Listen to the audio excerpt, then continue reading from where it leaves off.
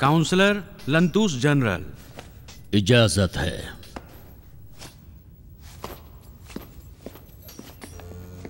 General साहब सलाम अर्ज़ है। लंतूस तुम एक इज्जतदार और बेहद वफादार फौजी हो। रूमी सल्तनत के साथ जंगों के जमाने से अब तक तुम और सेंट्रियो रोफोस हमेशा हर जगह मेरे साथ रहे हो। लेकिन आजकल तुम्हारी तरफ़ से मुझे अच्छी खबरें नहीं आ रही हैं। कैसी खबरें जनरल? खबर मिली है कि जिस मुजरिम को सुपुर्द किया जाना था वो दरमियान से ही फरार हो चुका है। ये काम मेरे हुक्म से हो रहा था।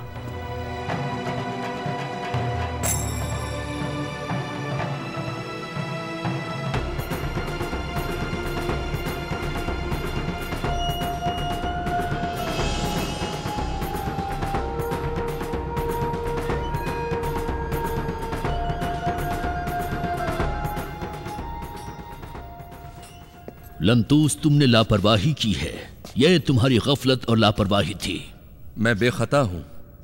वो मुकद्दस जैलूत इसके पीछे कौन मुकद्दस जैलूत? कहाँ से है वो मुकद्दस? ऐसा तो नहीं कि तुम भी उन्हीं में शामिल हो चुके हो जो अपनी मुकद्दस या गैर मुकद्दस तकदीर बदलने के लिए मुकद्दस नुमाई का ढोंगरा चाहते हैं। ऐसा ना हो कि कल को तुम कहो कि यरूशलेम में खुदा के बेटे या बेटी का जहूर हुआ है। ए लोगो, इसकी जियारत के लिए दौड़ो। लंतूस एक कैदी भाग गया है और एक रूमी सिपाही मारा गया है। अब मेरी बटालियन वालों और आशूर में, मेरे दुश्मनों के सामने मेरा एतबार खतरे में पड़ गया है।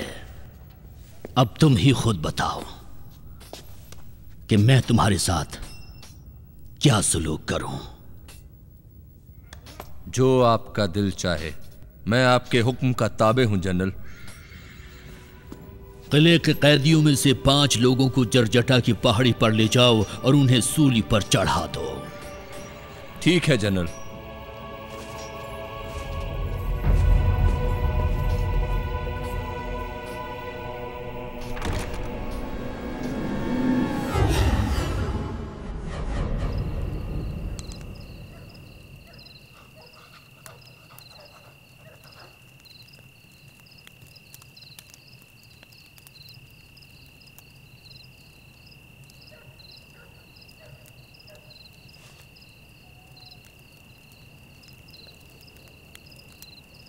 आंद्राउस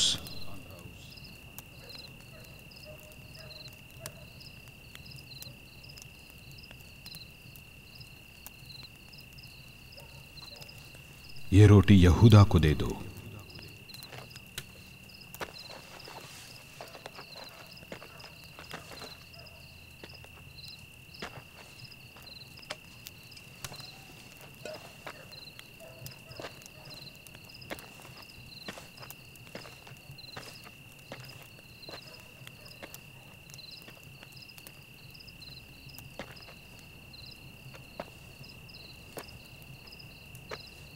गोशा नशीन साथी हैं? हाँ?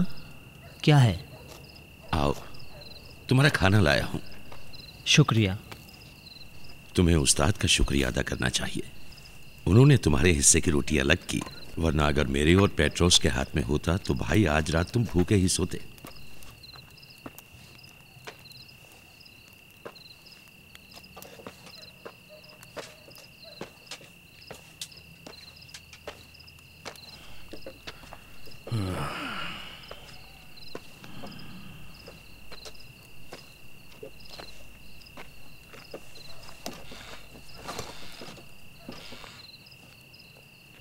अगर ये आदमी वाकई पैगंबर है तो इसको समझ लेना चाहिए कि मैं हरगिज इस पर ईमान नहीं रखता हम्म। और उसके पैसों से भी अलग रहूँगा हम्म। तुम लोग अपना दिल उसकी नसीहतों से खुश करो मुझे तो सिर्फ़ उसके पैसों से मतलब है। पैसा। यहूदा तुम्हें नहीं मालूम अस्कर यूती कहाँ जा रहा है? नहीं। वो वक्त बेवक्त गायब हो जाता है। मैं उसकी हरकतों का राज समझ नहीं सका। हाँ मैं भी उसके काम से हैरान हूँ। खैर और सुनाओ यहूदा। अंद्राउस तुमसे एक सवाल था। सवाल? हम्म। तुमने कहा कि तुम मुद्दतों याह्या के शागिर्द थे। याह्या ईसा से कितने मुशावा थे सच कहूँ तो बड़ा सख्त सवाल पूछ लिया भाई। मुझे उम्मीद है कि तुम्हें मुझसे किसी फलसफियाना जवाब की उम्मीद नहीं होगी। क्योंकि मैं बहुत पढ़ा लिखा आदमी नहीं। मेरा जवाब दोगे या नहीं? ठीक है ठीक है इस शर्त पर कि तुम भी खाना खाओ। अच्छा अगर मैं गलती नहीं कर रहा हूँ तो तकरीबन चार साल पहले पहली बार शहीद जाहिया को दरियाए उर्दुन के किनारे देखा था। उन्हीं दिनों में असलीमियों के देर से अलग हुआ था और एक इंसान कामिल की तलाश में दर बदर भटक रहा था। एक इलाही मुर्शिद एक खुदा रसीदा इंसान। समझ रहे हो ना? हम्म। उस रोज याहिया काफिलों की गुजरगाह वाले चश्मे के पास लोगों को वास कर रहे थे। एक अजीब कशिश थी उनमें। उनके रौबदार चेहरे में खुदा फंदे आलम के जलाल को देखा जा सकता था। तौबा करो और खुदा की जानिब पलट आओ वरना जहन्नम में सजा का सामना करना पड़ेगा जो दरख्त अच्छे फल नहीं देते उन्हें काट कर आग के हवाले कर दिया जाएगा। नेक इंसान बनने की कोशिश करो क्योंकि जन्नत नेक और परहेजगार लोगों की है। ए पैगंबर जिक्रिया के फर्जंद हम क्या करें? लोगों को डरा धमका कर पैसे ना हड़पो किसी पर तोहमत ना लगाओ। जो मिले उस पर काने रहो। अगर तुम्हारे पास दो लिबास हो तो एक हकदार को दे दो। और अगर इजाफी खाना हो तो भी ऐसा ही करो। अगर ऐसा ना किया तो तुमसे खुदा की रहमत उठा ली जाएगी। और फिर कुफार पहले से ज़्यादा तुम पर मुसल्लत हो जाएँगे। और इस तरह खुशकोतर आपस में जलने लगेंगे। तौबा करो और खुदा की तरफ़ पलट आओ। याहिया अपने सर के बाल नहीं काटते थे। पके हुए खाने और मशरूबात इस्तेमाल नहीं करते थे। दूसरी तरफ़ अशराफिया खसूसन हीरोदस उनके निशाने पर था। वो अपने कवानीन के सख्त पाबंद थे। खास तौर पर अपनी दावत पर लब्बैक कहने वालों के लिए वो गौसले तामीद की तकरीब अंजाम दिया करते थे। शुरू में तो मैं भी इस शक में था कि शायद वो भी नूरजादों की तरह यहूदिया के इरफानी फिरकों के जाहिदों में से हों। तुमने ये नाम सुना है? क्या वाकई उस फिरके के लोग ख़ास तरीके से मुहैया की जाने वाली गज़ाओं के अलावा और कुछ नहीं खाते थे? सही है भाई सही है। वो लोग हराम अहद की बुनियाद पर ऐसी कसम खाते हैं। बस दर हकीकत जो लोग कस्में खाकर देर से बाहर आते हैं उन्हें गज़ा की कमी के सबब मर जाना चाहिए सही है ना? सही है।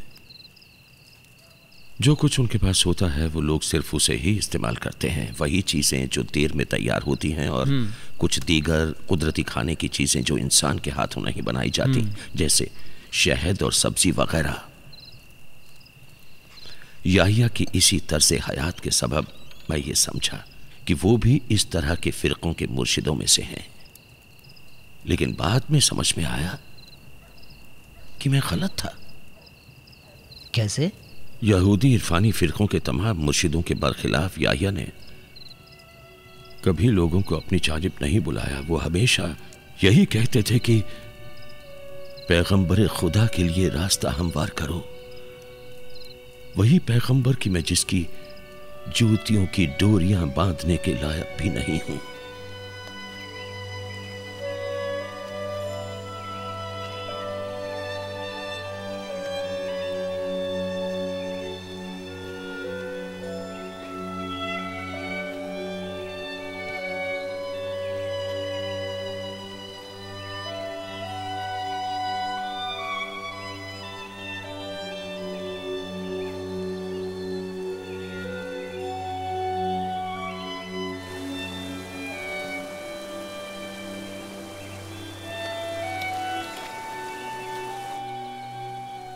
लोगो, मसीह के आने के लिए खुद को आमादा करो। लोगो, तौबा करने वाले गुनहगारों को मैं तामीदी गुस्ल दूँगा। लेकिन एक दूसरा शख्स आएगा, जिसका मर्तबा मुझसे भी बुलंद है। वो तुम्हें रूहुल कुदस से पाक करेगा।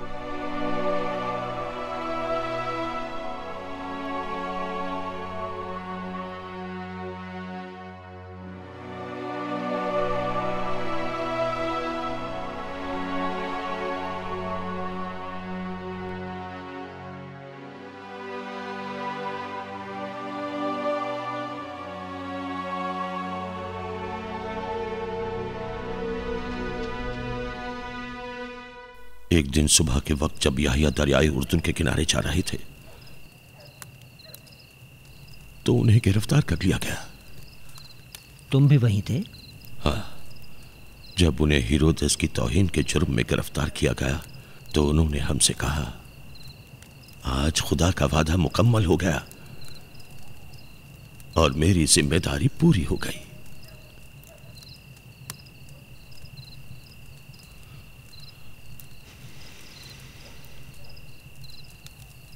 आंद्राउस क्या हुआ? चुप क्यों हो गए? बताओ बताओ।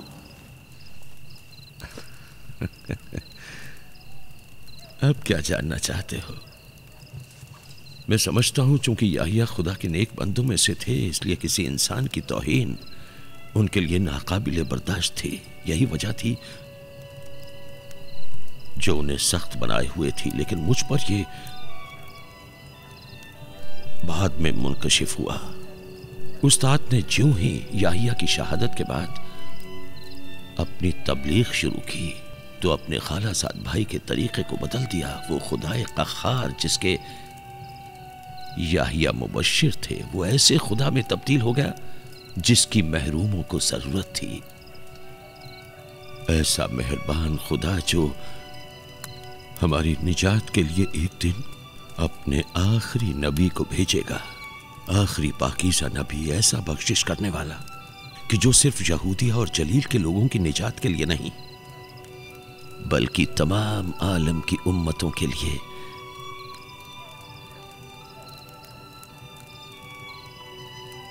आखिरकार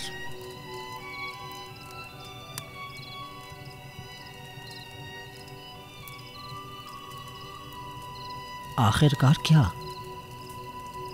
जिस वाक़े की याहिया बशारत देते थे, दो साल पहले वो रूनुमा हो चुका। हिरोदस उस रात हिरोदिया के साथ अपनी हराम शादी का जश्न मना रहा था। वही औरत जो शरण हिरोदस की भाभी थी और याहिया से सख्त अनाद रखती थी। उस औरत ने जलील के कम अकुल बादशाह को मदहोश करने के लिए अपनी बेटी सालूमा को हिरोदस के सामने रक्स करने पर आमादा किया। जिसकी वो मुँह मांगी उजरत ले और वो उजरत याहिया का कत्ल हो।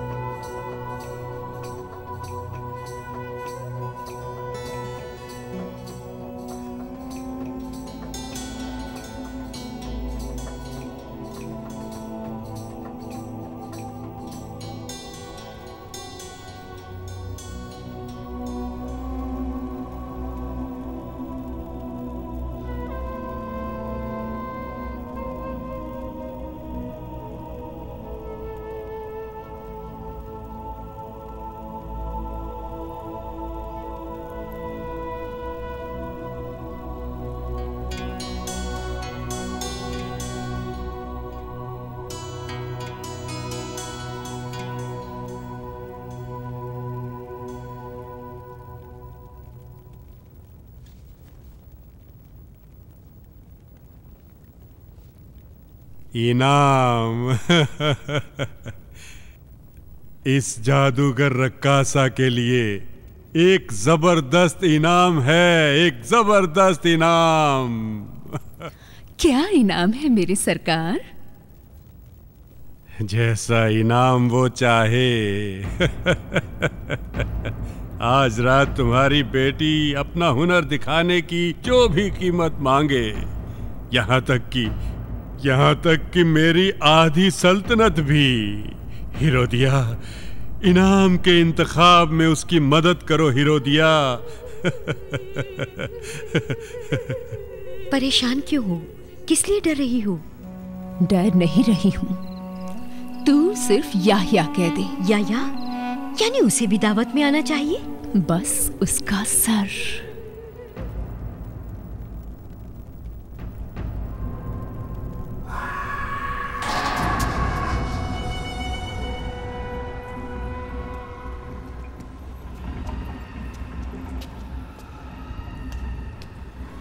दरवाज़ा खोलो। खोलो। मलिका साहिबा आना चाहती हैं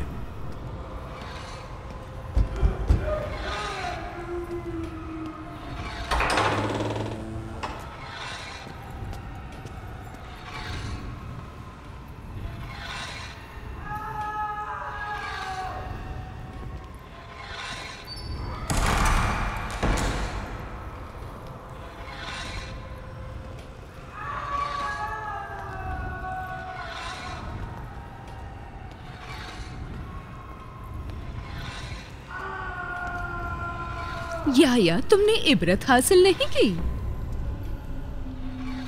किससे? तुमसे? शायद ये और बात है कि इबरत हासिल करने के लिए अब काफ़ी देर हो गई है सक्रिया के बेटे। तुम अपना सर दरवाजे तक सही सलामत नहीं ले जा पाओगे। ये तुम्हें पहले से मालूम होना चाहिए था। मैं जानता था कि तू शैतान है। और अपने वसवसों की रस्सियों से जकड़कर हिरोदस को भी जहन्नम तक खींच ले जाएगी। तौबा कर ले। अभी भी वक्त है। तौबा कर ले। या या। आखिर लोगों ने तुम्हें ऐसा क्या देखा कि तुम्हारे साथ हो लिए? हम्म? तुम्हारी परेशानी मैं नहीं हूँ। तुम्हारी परेशानी ये लोग हैं। चुनानचे जान लो कि ये लोग मेरे बाद भी पैरवी करेंगे। लेकिन किसी और की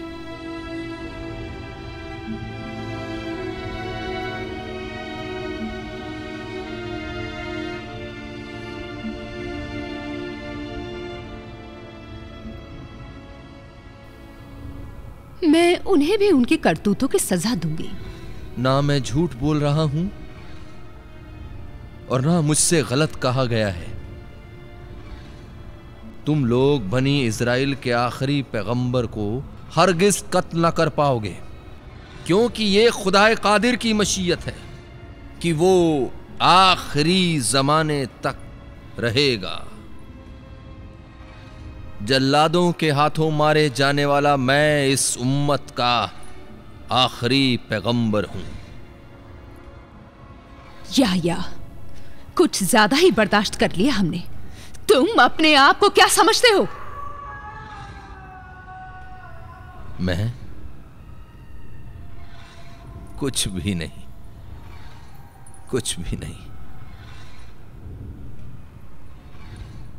लेकिन खुदा है जो मेरी शान का तारुफ कराता है।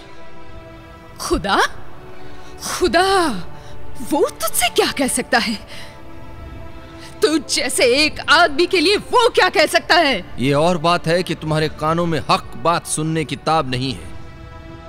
लेकिन सुनो।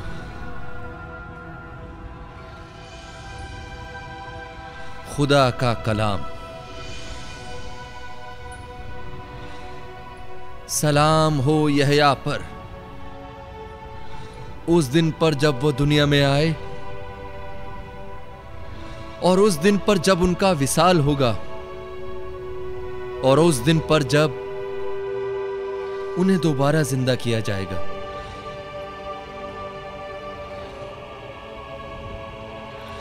यही मौका है। मार डालो इसे।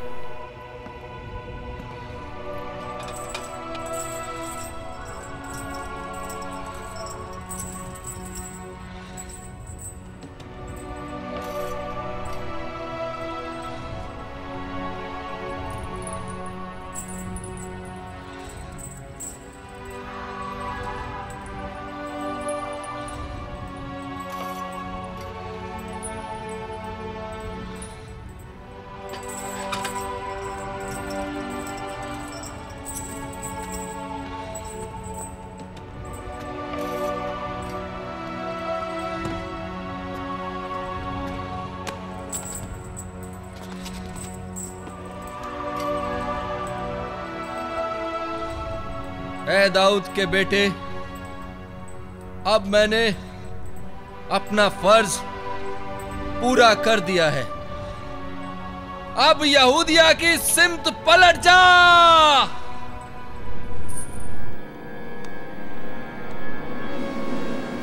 खामोश। मारो! देख रहे हो खिजा? कोई मेरी बात नहीं सुनता। ये दरबार भी मेरी सल्तनत की तरह हो गया है। सब अपनी अपनी अलाप रहे हैं।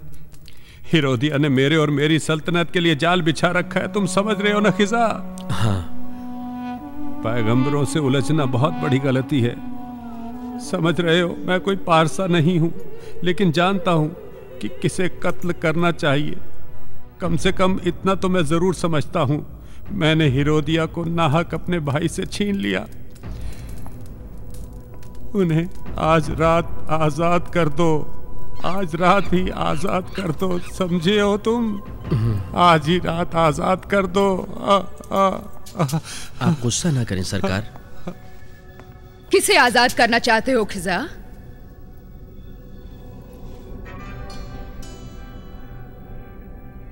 बेगम साहिबा? जहाँ पना ने बास कैदियों के बारे में मैंने कहा किसे आज़ाद करना चाहते हो?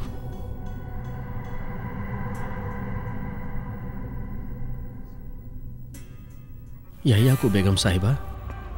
तो तुम उसे आज़ाद करना चाहते हो?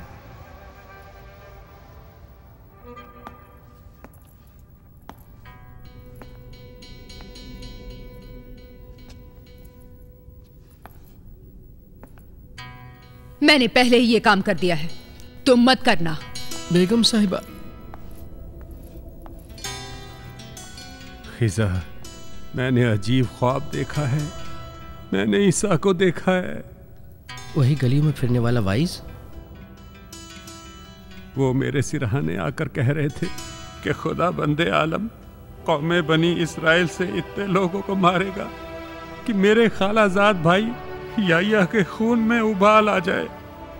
खून उबलने का मतलब क्या है?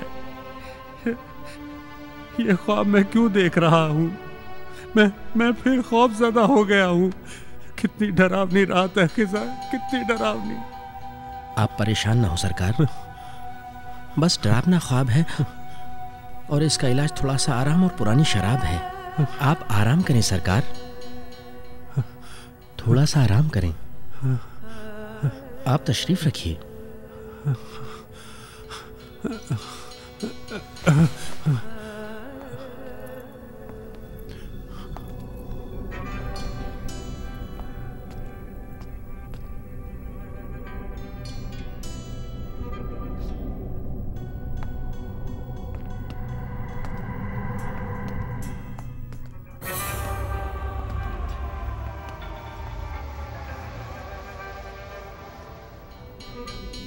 पास भी आपके लिए इनाम है जहाँ पर नाम।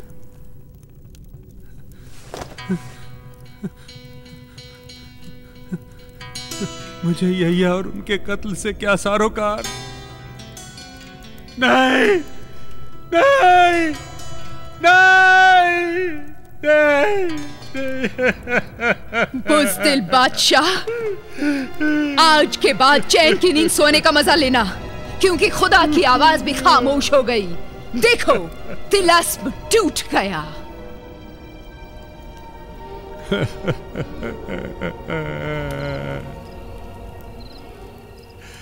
दुनिया की पस्ती के लिए इतना ही काफ़ी है कि पाकिजा याहिया का सर बनी इसराइल के बदकारों को तोहफे में दिया जाए।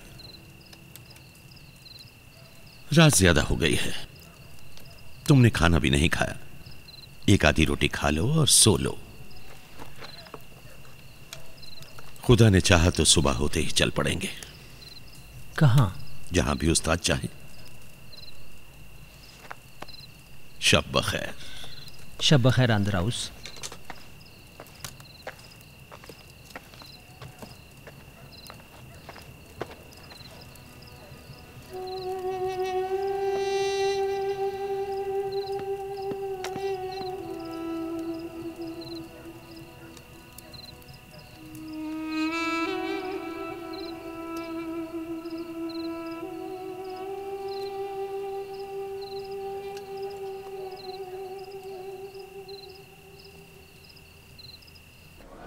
वहाँ देखो, बाराबास। नहीं नहीं।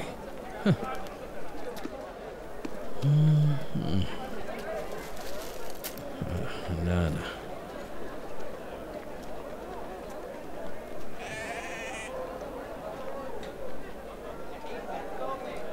इसे देखो।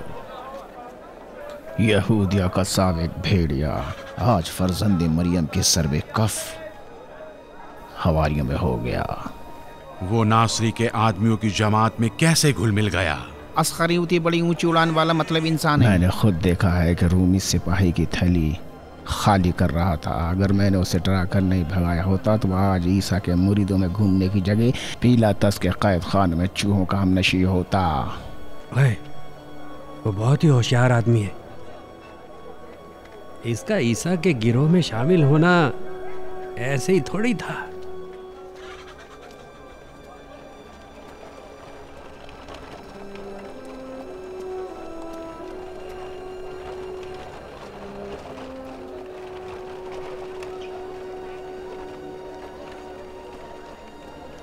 अभी तक हम नासिरी और उनकी जमात के बारे में संजीदा नहीं हुए थे।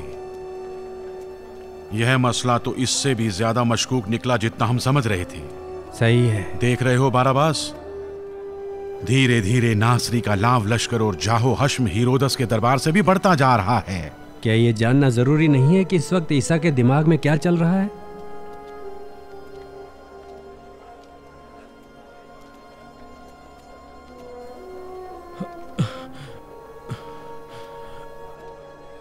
अरे ये आदमी नासिर के गिरोह में क्या करता है? जहाँ तक मैंने सुना है वो ये है कि यहूदा नामी एक परदेसी उनके खर्चे उठा रहा है। आस्खरियुती को खरीदो फरोख्त का जिम्मेदार बना दिया है। मैं पूरे यकीन से कह सकता हूँ कि यह बदजात नासरी की आधी आमदनी अपनी जेब में रखता होगा। हम्म। उसका रिकॉर्ड मेरे पास है। अंजुमन में याद में सच्चा नहीं था। बुलाओ उसको। कहो उससे काम है अगर ज़्यादा परसाई दिखाओ तो ज़बरदस्ती ले आना हूँ। आओ उसके पास चलते हैं। चलो चलो।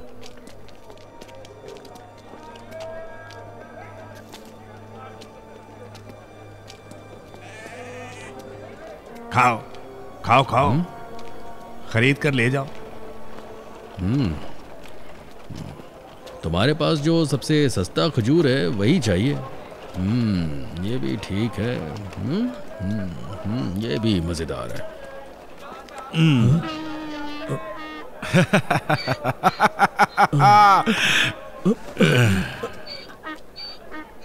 इसे पहचानते हो? भेड़िए मुस्कुरा तो दो। क्या पुराने दोस्तों की मुलाकात तुम पर इतनी गिरा है? मुझे तुम लोगों से कोई काम नहीं है समझे? बिल्कुल कोई सरोकार नहीं है तुम लोगों से। लेकिन हमें तो तुमसे बहुत काम है।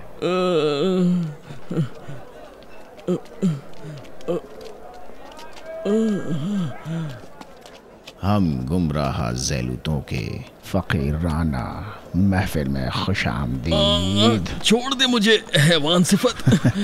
खामोश मैंने एक कव्वे से सुना है।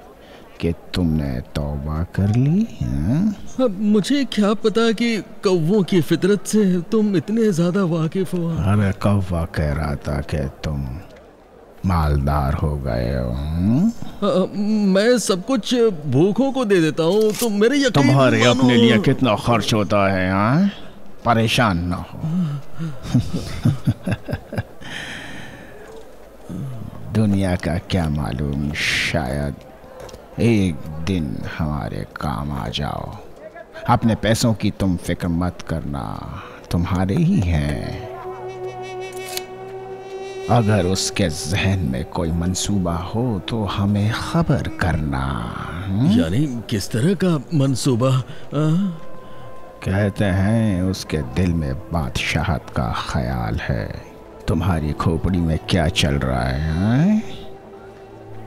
इस खोपड़ी में कुछ भी नहीं चल रहा है। मैं तो सिर्फ़ एक ताजिर हूँ। मैं तो सिर्फ़ एक ताजिर हूँ। हिसाब किताब रखने वाला ताजिर तुम्हारी तरह पिछड़ा हुआ नहीं है। इंसान को मुनाफे के अलावा कभी घाटा भी होता है। बेहतर है कि अपने कारोबार पर ध्यान दो शमनू के बेटे मेरी गर्दन। जाने का वक्त हो गया। जल्दी अलग अलग हो जाओ। कोई तुम्हारा पीछा ना करे।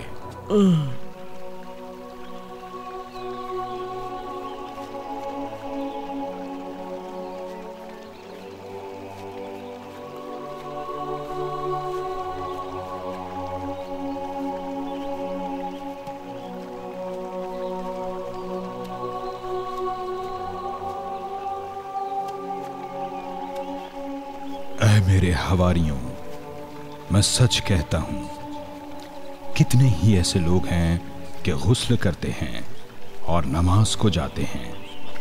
कितने ही ऐसे लोग हैं जो रोजा रखते हैं और सदका देते हैं। कितने ही ऐसे हैं जो किताबों का मुताला करते हैं और दूसरों को बशारत देते हैं। जबकि खुदा के नज़दीक उनकी आखिबत खराब है। क्यों? इसलिए कि सिर्फ़ जिस्म पाक रखते हैं। दिल नहीं। लजीज गजाओं से तो परहेज करते हैं, मगर उनकी रूह गुनाहों से नहीं बचती। और ये सब वो इसलिए करते हैं ताकि लोगों के सामने सुर्ख रू रहें। अगर हिकमत आमेज बातों का मुताला करते हैं तो सिर्फ़ इसलिए कि किसी तरह अच्छे वाइज बन जाएँ, बजाय इसके कि खुद उस पर अमल पैरा हूँ।